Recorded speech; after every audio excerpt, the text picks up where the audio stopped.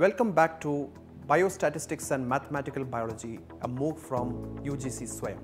I hope you're enjoying uh, till now. It is now the fifth week, and I hope you had a very nice uh, weekend as well. So, let us see what we are going to learn in this week. This is an exciting week and a lot of new things that you're going to learn. So, we'll start with module number 10. So, there will be two modules in this week.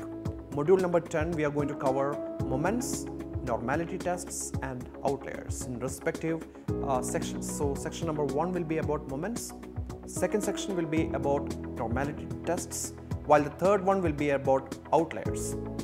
The, the 11th module is that the concepts of population, sample and the, the confidence interval. So this module has been uh, divided into two sections. Section number one, we are going to learn about the theory of confidence interval and then how to calculate the confidence interval of the mean. 95% CI of the mean we will learn in that section. Subsequently in the section number 2 we are going to learn the confidence interval of the standard deviation then the confidence interval of the binomial distribution and the confidence interval of the Poisson distribution. So this is uh, the week in a nutshell.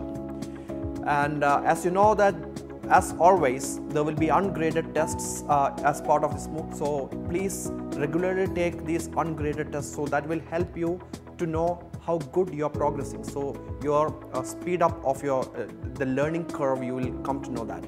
So if at all there is some deficiency, you can go back and check these modules. So all these are accessible free to you. So there will be discussion groups as well. So please actively contribute in these discussion groups. And also there will be a lot of screencasts of the normality tests and outlier tests and then the GraphPad Prism, how to use the GraphPad Prism.